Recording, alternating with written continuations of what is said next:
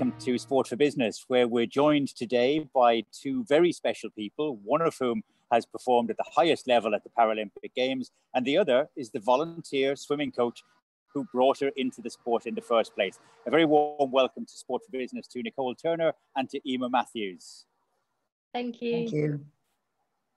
It's great to see you both. You're here today to talk about the final call for the uh, nominations for this year's EBS and Federation of Irish Sport uh, Volunteer of the Year awards, and uh, and it's a very special award. It's obviously a very special uh, gig, really, in order to actually bring people into sport. Nicole, what was it like for you when you first got involved in in, in swimming, and how big a part did Eimear play in that? I think well, Eimear was my very first swimming coach, so I went through my lessons in Portarlington Leisure Centre, and then the club that was there, well, oh, it still is there, is Piranha Swim Club, and Eimear is the voluntary coach for the club who swims about three to four days a week.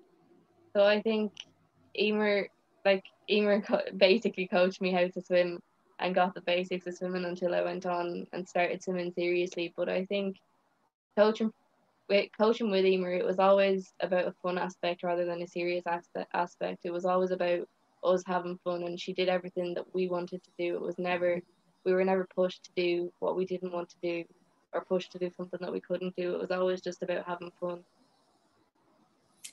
Eimear, what do you remember of Nicole when she first appeared poolside alongside you?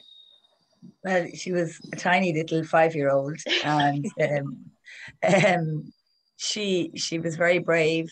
Um, she's she when she started, her two brothers were in the club, so she came along and joined them. Better, I always have the attitude that it's better to have the siblings in the pool than sitting up at the deck watching. They're not going to learn anything up there. So we invited Noel to join us, or Nicole to join us, and then when she was seven, she had potential, she became a good swimmer really, really quickly and um, she was doing those hard lengths, even though she doesn't remember them as being so hard, thank goodness. And she took part in the World Dwarf Games, which were in Belfast when she was only seven, and she won five gold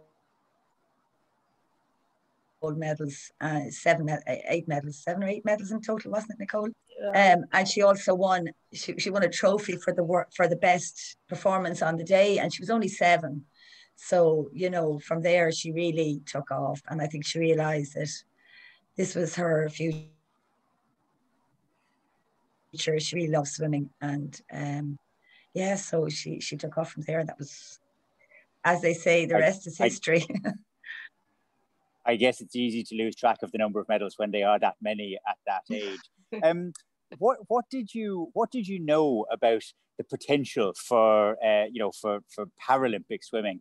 At that stage because you know we would have been we would have been becoming more aware of it through through London. But before that it was something which was kind of out of the usual extraordinary as it has proven to be. But what did you know about it at that stage in terms of the potential for Nicole going on? Yeah we knew we knew very little at, in the beginning. And then as as Nicole progressed and she she met up with the group there was um a group that met in with the Irish Wheelchair Association. At I right, Nicole? Yeah. In so Nicole joined that group in Westwood to um, swim in a 50 meter pool, and I brought her down to Limerick to swim in a 50 meter pool because we realised that there were events available to her, and um, North, Sport Northern Ireland had quite a few events, hadn't they? And yeah. Nicole went up to those, and I suppose it filtered through slowly that there were events. And Bernie uh, um, got in touch with the uh, Irish Dwarfism Association, am I right, Nicole? And they led her in the right direction, as well as the Irish Wheelchair Association. And then she became aware uh, and she joined the Paralympic team as a junior member. And from there progressed on to actually being an elite athlete, which she is now. So uh, it was a slow progress, but she she took the right steps up the ladder, and here she is now. You know, and here she is, a world and an Olympic athlete, which is Paralympic athlete, which is just she's just amazing. Indeed, Paralympic athlete, Paralympic silver medalist as well. what do you um, what what do you think, uh, Nicole? Like along that journey, as a as a five year old first appearing poolside, as a seven year old winning trophies, I'm sure that your your own ambitions were were kind of difficult to to really encapsulate in your mind. But did you always kind of have that ambition that maybe one day that you could be following on the likes of Ellen Keane, who would have already been prominent at that stage, and thinking that maybe that could be you? I think so. Like, I think even when I first found out I had a disability, watching the Paralympics in Beijing, uh, Ellie Simmonds, who is a British swimmer, she's small just like me, and she went on to win a gold medal. Uh, but me being a six year old kid, I turned to my mom and dad. I was like, she's small just like me. I want to be like her. Uh, me thinking nothing of that. But then, like, back then, I didn't see how serious it was. I didn't see the commitment that went into it. Uh, but then, as the years and years went on, I just continued to progress and then made it onto the junior team, made it onto the senior team. Um, and then the senior team, like the likes of Ellen, the amount of success she she was having, and I was on a team with her. So I think, like it was, as Eimear said, it was a bit of a slow progress. Like things do happen gradually, but then once it happened, it happens, and then you do reach the top level and go to the Paralympics. Both yourself and Ellie, small in stature but very big in personality. The the performance out in, in Tokyo was was exceptional by any standard but it must have been very challenging and very difficult for you without the support structures that you'd normally have in place with friends and family. What was it like out there for you? I suppose it wasn't like it was nowhere near I'm not gonna say as bad, but it was nowhere near as different as we thought it was gonna be. Like it was emphasized that oh it was gonna be very different, there's no crowd or whatever. But I think because there was no crowd, the teams all came together and supported us and screamed as loudly as they could and made as much noise as they could because they knew they were the only ones that were able to do it and friends and family weren't there.